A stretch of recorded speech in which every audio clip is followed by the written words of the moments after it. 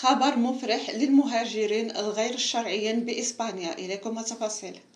أعطى البرلمان الإسباني الثلاثاء موافقته على مناقشة مبادرة تدعو إلى إضفاء الشرعية على جميع المهاجرين الذين يعيشون في البلاد بطريقة غير نظامية وتشير تقديرات أصحاب المباراة إلى أن ما بين 390 ألف و 470 ألف شخص هم في وضع غير نظامي في إسبانيا ثلثهم من القاصرين. ووقع المبادرة التي أطلقتها مؤسسة للدفاع عن المهاجرين غير الشرعيين منذ نحو ثلاث سنوات أكثر من 600 ألف شخص ونالت دعم 900 جمعية تقريبا.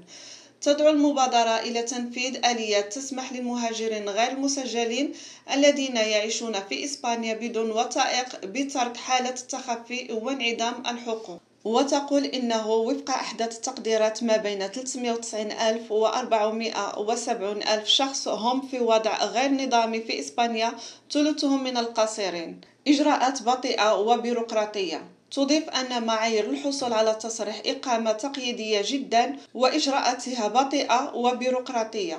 وفي حين أن حزب العمال الاشتراكي الإسباني الحاكم يؤيد قيام البرلمان بفحص مشروع القانون المقترح إلى أنه لا حذرا باعتبار أن القانون على المهاجرين بدون وثائق. لكن مؤيدي المبادرة يقولون أن سياسة التقنية الجماعية تم تنفيذها مرة عدة خلال العقود الأخيرة في الاتحاد الأوروبي بما في ذلك في إسبانيا.